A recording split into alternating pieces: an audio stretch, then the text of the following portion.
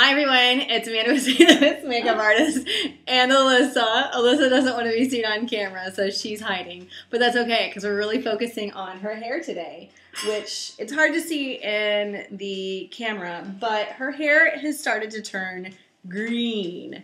And this could be for a lot of reasons. It could be um, a lot of swimming, it could be uh, your own water that you're bathing in, a lot of calcium buildup and it gets onto your hair, it attaches, and it turns green. So, we're going to correct this today by using ketchup! Seriously, we're going to use ketchup on our hair.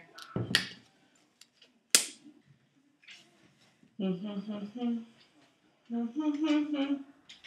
mm-hmm, oh my gosh, this is so disgusting.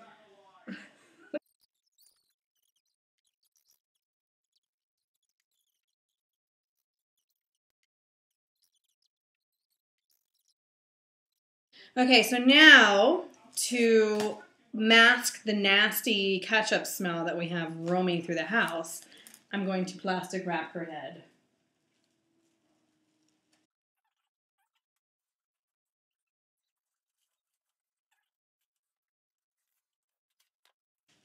Smells like meat though. And then, well, in 30 minutes we'll find out if Alyssa loves me or loathes me and then wants to go get a burger. Okay, it's been 30 glorious minutes of smelling like a ketchup bomb in here. And we're going to, I'm going to wash and rinse Alyssa's hair using a clarifying shampoo.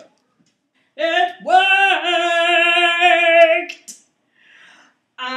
Alyssa's hair is no longer green. It still smells a little bit like ketchup, so she's gonna go home and wash and wash and wash again but it worked. So there you have it. It'll be great for the summer when you're in the pool a lot and your hair starts to turn green, or if you have a lot of calcium buildup in your water, which will also tend to turn your hair green.